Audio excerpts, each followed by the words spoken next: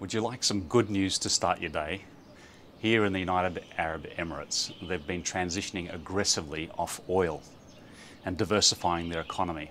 So, just over 12, 13 years ago, it was more than 80% petroleum based. Now it's down to 30%. Isn't that amazing?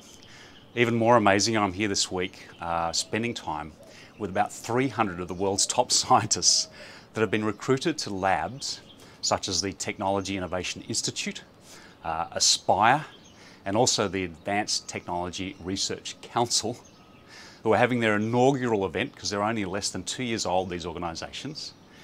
And they're all on the same mission to continue that process of diversification. So they've got some of the best quantum scientists, materials scientists, artificial intelligence people in the world. They've come from all over South America, Central America, uh, Europe, Switzerland, Germany, Asia. And they're all in one place, a hugely diversified team of wonderful people. And they're all here because they got a phone call one day to ask them to be part of that mission. Now, amazingly, I'm here to present to them today about values and courage and the human factors in innovation and how we can energize boundary crossing and more collaborative, collective innovation. Um, so that's a real privilege for me, but I wonder if I can teach them very much because they're such an amazing group of people. So that's really inspiring me, and I just wanted to share it with you.